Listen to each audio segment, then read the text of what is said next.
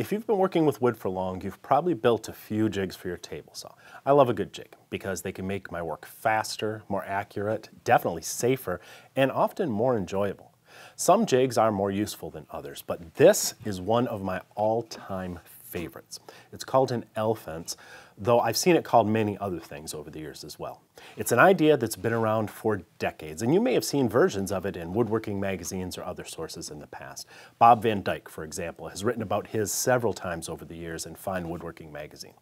Mine is a simpler design than most, so it's easy to build from just a few scraps of plywood. But there are some unique features that you don't typically see. I think you're going to find this very interesting. So I'm going to show you how to build it really quickly. It'll only take a couple minutes. Then I'll show you how it works. My design is made from three strips of plywood. Each are around two feet long. One is around 10 inches wide, the other is three and a half inches, and the last one is about three inches. The edge of the three and a half inch strip is attached to the face of the widest panel, one inch away from its edge. I'm using some 123 blocks as spacers to make the alignment easier. 123 blocks have so many uses in the shop. I did make a video all about them in the past. I'll link to that below so you can check it out. The three inch strip is then attached to the edge of the three and a half inch one as you see me doing here. Finally, I made two simple brackets to just help square everything up and add some strength.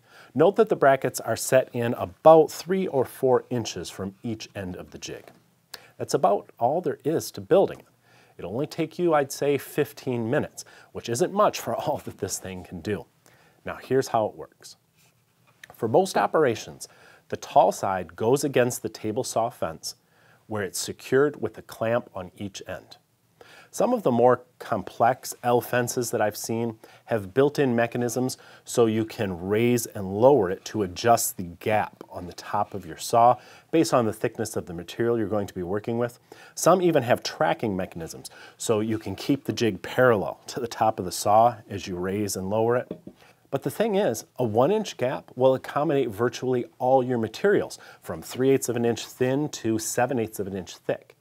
You can raise the jig to get a little more capacity in rare situations, but most of the time, I just place that one inch lip that I created on the bottom right on top of the saw, because that automatically sets it parallel to the top of the saw, and it gives it a gap that will work for 99.9% of my materials. The first thing I'll show you how to do with it is straighten an edge.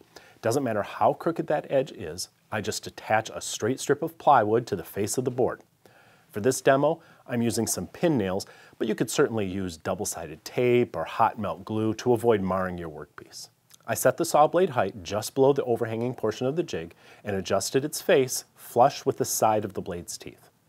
Now the strip of plywood runs against the L fence and whatever is beneath that overhang is cut away. My once crooked edge comes out nice and straight. The same principle can be applied to cutting tapered edges by merely angling the strip of plywood before you attach it to the board. In fact, you could take this a step further and use this jig to cut repeatable odd shapes with templates. Notice how none of the edges of this template are parallel to an edge on the workpiece beneath it. Yet I can cut all the way around the shape in four passes and batch out multiple identical odd shapes with templates. Check out this panel. It needs some trimming to flush up my edge banding, which is slightly too wide. For this, I lay a piece of 2x4 next to my fence to slightly raise the jig above the saw when I rotate it to take advantage of the extra height on its back side. My blade is once again set flush with the fence face, and I'm not too worried that the jig isn't perfectly perpendicular to the top of the saw because I usually slightly chamfer the edges of my banding with the sanding block anyway. It only takes one pass with the panel on edge, supported on the bottom with a push block, and my banding is perfectly flush with the surface of the panel. Now wait a minute, flush trimming, template cutting, aren't these tasks usually done with a router and a flush trim bit? Sure, but a table saw blade with its many carbide teeth can do a lot more of these things before it becomes dull compared to just two cutters on a router bit. So some people do like to use table saws for these tasks whenever possible. Want to see the rabbets? For this, I'm attaching a strip of plywood along the edge where I want the rabbet to be, but on the opposite face. The blade is set to the proper height, and as usual, it's flush with the face of the jig. I'm cutting my rabbet with multiple passes using a regular saw blade, but you could certainly save time by cutting it in a single pass if you own a dado set. Those are just a few of the ways I most often use my L-fence design. But this is such a versatile jig and so easy to build that I am sure you're gonna find many other uses for it as well. So try it out and see for yourself. Now check this out. It's just a couple of cuts. Your ears will be fine, right? They will be if you have your ISOtunes Bluetooth earbuds in, because you'd already have your ANSI certified hearing protection on because you're listening to your favorite music and podcasts. And you're supporting a small family business at the same time.